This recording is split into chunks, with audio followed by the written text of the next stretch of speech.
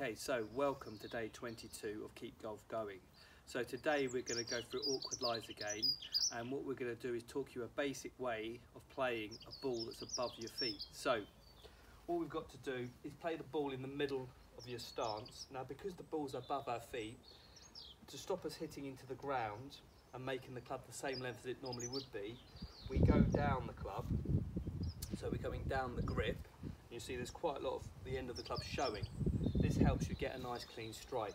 So the ball is in the middle and it's very important we try and get our weight quite equal. Even though it, the slope is pushing us backwards, we're going to try and lean into it a little bit, get a nice firm base.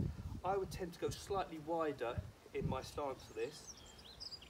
Let the, the club down on the floor, grip down the club, and then again just do a nice easy golf swing. And don't be too greedy on what club you pick. Now, when it's on what we're going to tend to find, the ball is going to start out to the right and then come back to the left. So if you were normally going to aim straight, just adjust yourself round to the right slightly so you can get the ball to fly and follow the line that it wants to go on.